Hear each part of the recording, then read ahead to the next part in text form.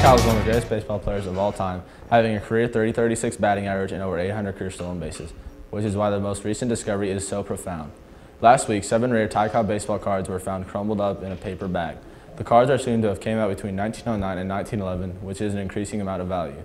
The cards are predicted to be worth over $1 million apiece, putting the amount at over 7 million total.